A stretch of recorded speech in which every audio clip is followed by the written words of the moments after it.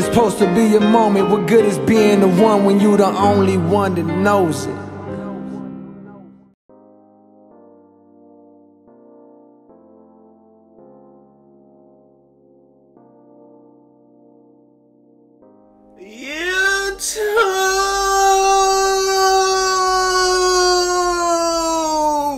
Hey man, it's the ISO God Sensei. Make sure y'all subscribe if you new. 258k on the motherfucking way. Make sure y'all hit that goddamn like button. Help get a nigga and young recommended. Turn on them post notices. Subscribe. You bot. So many you niggas watch my vids without subscribing. If I knew you IRL, it would be bad news for you. But look, listen. I've done it again. I I have done such a miraculous feat. I have figured out. I have found my first build without the game even being out. We are like two weeks from 2K21 on next gen, and I have figured out what my first build is going to be. What the first build, the first demigod, ISO. I need a screen. Little comp stage, meta build, man. And I'm sure a lot of people gonna follow suit. Now, I'm gonna go over a lot of things, and this is gonna be great information for you guys to to take into for next gen because I don't know what build videos y'all gonna be looking at. Y'all know you gonna be you gonna be getting spam. I don't want y'all to waste your money, man. So I'm finna tell y'all the safest way to make um a point guard, not point guard, a point guard scoring, you know, ball handler build, you know, the demigod, you know, the you know the the the wave, you know, the the most popular, you know, playmaker shot creators this year, etc. blah blah blah blah blah blah blah. So look, I've been playing 2K since the first 2K, man. So I'm very good on this build shit, man. I know what's going to be the best build for for me or for others.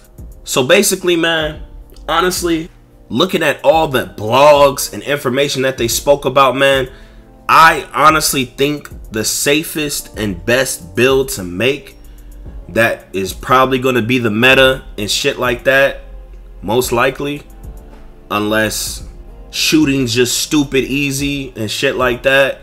But this will still be the meta no matter what. Um, a play shot, basically a play shot, and I'm a play shots always safe to to to go with in in any year. Play shots and play sharps kind of became one.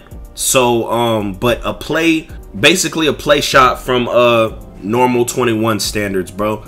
Basically, what I'm going to do when I make my build, when I do his wingspan and his height, I am going to go with, and I, I, I just, I for some reason, I just want it this way, right? I am going to go with whatever height and weight and wingspan gives me a 99 speed and 99 acceleration. Now, if he if he's below six, if he's six foot, I, I ain't gonna do it. I you know, man, I, I'm man, I might have to go six one, cause this year I'm pretty sure you have to go six one for that. And um, I don't know, bro. Like, I'm gonna do that and I'm only gonna play three, so that's why I can do stuff like that. Cause you know I'm gonna have locks, guard and ball, and shit like that. And I'm a real good defender, so like that extra height that I might need to like guard people in the corner and shit won't really be needed. And they say that they're gonna be improving paint defense even more. And you already know play shots could stop niggas from going to the paint a little bit, you know, um, for some reason when someone grabs the ball and just runs and holds square, it's like you, you just can't stop it. It's weird as fuck. But like like little standing layups or you know shit like that, you could stop pretty good. I'm gonna get into the takeovers that I'm gonna pick soon. But look, and by the way, did y'all peep how they did eight takeovers, like overall takeover signs, and then 24 individual takeovers for Kobe? Y'all let me know how y'all feel about that. Shit crazy. And also below, let me know what build you're gonna be aiming for. You know his height, his weight, his takeovers, and like why why why are you gonna make him like that? Now, what I'm basically gonna do before I tell you what takeovers I'm gonna choose is I'm also gonna get I'm I also I would just want mainly Hall of Fame playmaking, right? and I want mainly Hall of Fame shooting, right? And just enough shooting. I don't need to go overboard. I'm like the greatest shooter ever. And for finishing, I know a lot of people probably aren't going to do a lot of finishing. I want it to probably to where I can get like one Hall of Fame finishing or maybe a little more than that for my play shot. So it might not even be a play shot name. It might it might be some type of different name, but I'm definitely for my play shot, which will be different than everyone else's. Cause for some reason y'all niggas don't upgrade finishing. Um, I think that's fucking stupid.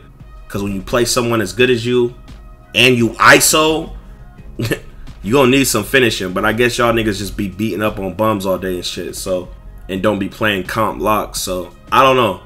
But I definitely would like on my play shot if possible.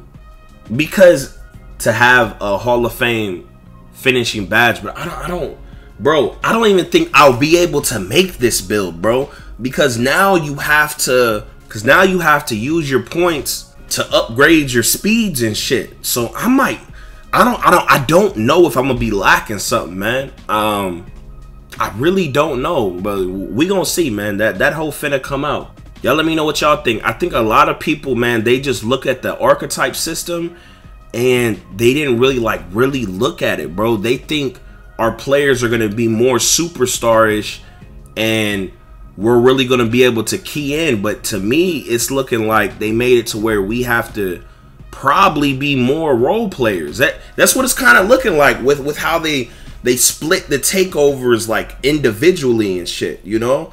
And now you have to pay for the speed and stuff. Like it's just not given to you.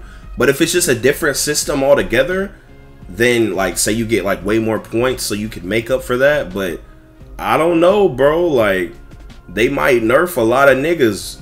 But for defense, I, I just wanna I'm not gonna do no one defensive badge. I, I just want enough to where, you know, j- just the equal of like, you know, five, five, yeah, five defensive badges on defense since I'm only gonna be playing threes and pro am with them.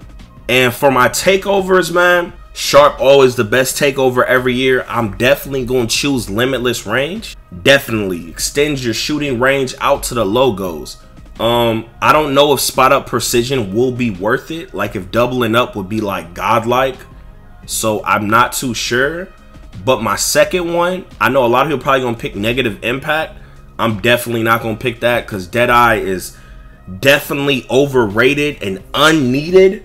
Um, you could shoot a hell a lot of contested shit without Deadeye, and Deadeye only activates or like shit that Deadeye and all that shit only activates when certain distances and animations are engaged. So it's like, man, you don't you don't need that shit. I'm telling you. I'm probably gonna go with pull up precision, man. Boost well timed aim shots off dribble. I know a lot of people probably they're gonna go with the lock stuff, perimeter badge drop. They might do the playmaking, the bat team badge boost. This this could be crazy, bro. I, I just don't know. This is all a eh. You know, you don't know if these will be actually worth it or crazy. And I don't know why there ain't no ankle breaking um takeover, man. I'm hoping that ankle breakers is really built into the goddamn game, nigga. Like shit. But anywho, man, I, I think honestly, I think a play shot's probably the safest or like the type of play shot I'm saying to make. It's probably like the safest to make, like a Hall of Fame shooting, Hall of Fame playmaking. Probably be the safest to make, other than like you know, slash and playmaker, playmakers, two-way slashing playmaker, fucking any of those other PG builds, bro, because you don't know if they're gonna make them not be able to shoot. Like, there's no point for slashing playmakers in the meta wave because they can't really shoot.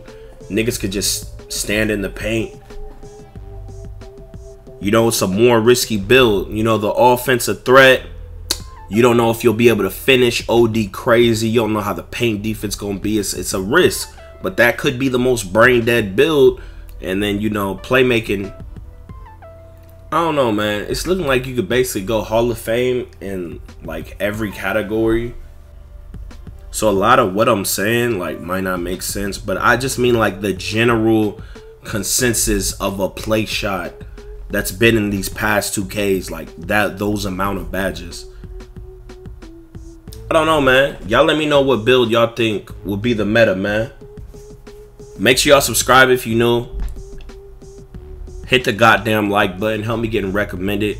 Turn on post notice. Go check out my second channel, man. I dropped a Rage Ties like a week ago. And um, I dropped my reaction to Annoying's little diss track. It's absolutely hilarious. And um, yeah, man. Adios. Go check out my other videos, man. And be sure to come here when the game is released so y'all can get the best meta builds for all the NBA 2K21 next gen for you, my boy.